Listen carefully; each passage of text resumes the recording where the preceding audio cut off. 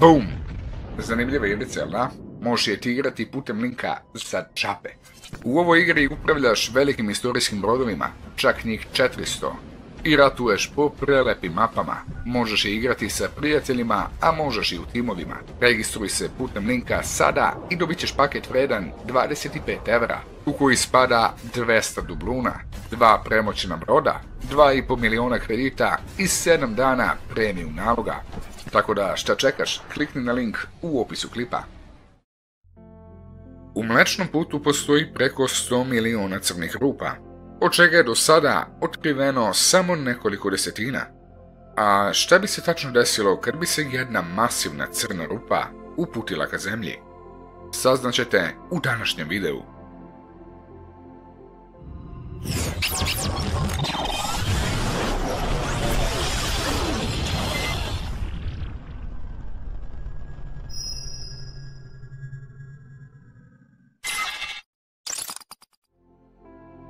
Crna rupa je vrlo zanimljiv svemirski fenomen.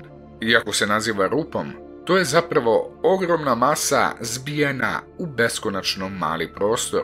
Gravitacija crne rupe je toliko jaka da joj ni svetlost ne može pobeći. Možete li da zamislite šta bi se dogodilo kada bi se jedna takva crna rupa našla u našoj blizini? Da bismo dobili tačan odgovor za datu masu crne rupe i njenu putanju do našeg susjedstva, trebale bi nam detaljne računarske simulacije, ali još uvijek možemo približno reći šta bi se moglo dogoditi. Kako bi se ova rupa približavala sunčevom sistemu, to bi poremetilo orbite tela koja postoje u njemu. Stoga bi neka tela sunčevog sistema mogla biti izbačena iz istog. Također bi se povećala učestalost udara asteroida i meteora o zemlju, što bi moglo dovesti do izumiranja vrsta.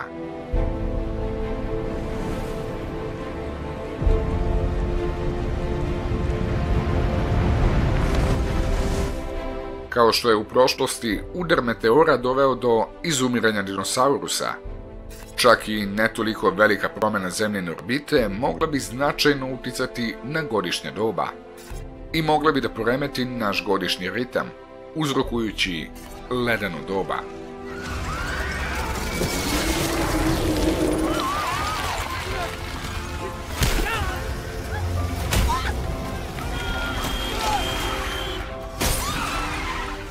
Ili ekstremni porast temperature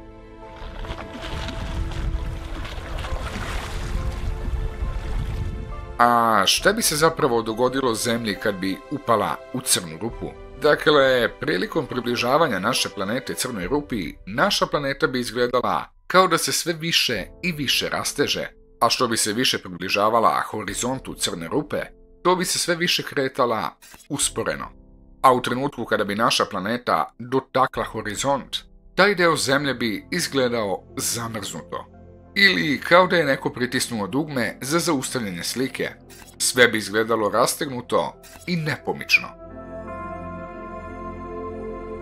I nakon toga bi na nas počela da deluje vatra Hawking zraka, a pre nego što bismo u potpunosti bili istopljeni sa crnom rupom, od nas bi ostao pepeo i prah.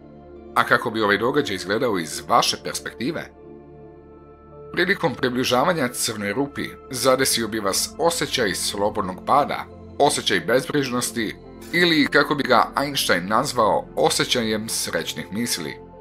Naravno, da je crna rupa manja, sile teže koje u njoj djeluju različito, bi djelovale na vaše gornje i donje ekstremitete, te bi vam se vrlo vjerovatno dogodilo ono što ste do sada čuli.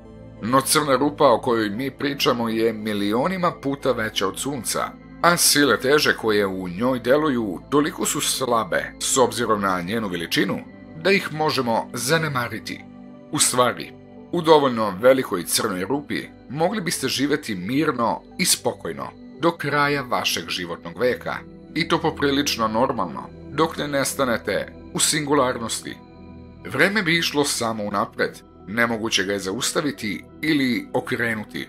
Crna rupa može iskriviti prostor i vreme do te krajnosti da unutar crne rupe na horizontu ove dve dimenzije mogu zameniti uloge. A ako se pitate zašto se vama ništa nije dogodilo, A kada smo gledali zemlju iz svemira, sve je djelovalo spaljeno i pretvoreno u pepeo i prašinu, te od vas nije ostalo baš ništa. Evo odgovora. Kada posmatramo tu situaciju iz svemira, sa te tačke gledišta, naša planeta, pa samim tim i vaše tijelo, ostaju rastegnuti, a potom pretvoreni u prašinu. I to nije iluzija. To se zaista događa, gledano sa te strane. Da postavimo to ovako. Kako bi lakše razumeli, recimo da se grupa astronauta dovoljno približila crnoj rupi u trenutku kada guta zemlju, a da ne budu uvučeni u nju. Mogli bi da pokupe vaš pepeo koji svojim očima vide. Prema teoriji kvantne fizike, nikakve informacije ne mogu biti izgubljene. Svaka od njih koja je povezana s vašim postojanjem mora ostati izvan crne rupe. Osim ako zakoni fizike sa strane astronauta prestanu da važe. Zakon fizike stoga omogućava ovaj rascep realnosti. Prema jednoj ostajete izvan crne rupe pretvoreni u prah, dok prema drugoj ostanete čitavi i zdravi unutar crne rupe. Ali postoji treći zakon fizike prema kojem sve informacije bivaju klonirane. Prema tom zakonu nalazili biste se na dva mesta, no život biste mogli nastaviti samo na jednom mestu. Znam. Postavlja se pitanje. Kad uđemo u crnu rupu, da li smo mrtvi ili živi? Najveća tajna koju nam je razumevanje crne rupe otkrilo jeste to da realnost ne postoji.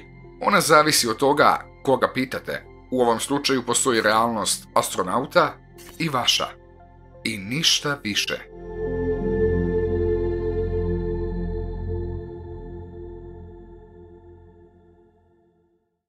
Ne zaboravi da skineš World of Warships, link je u opisu klipa i vidimo se putem nišana.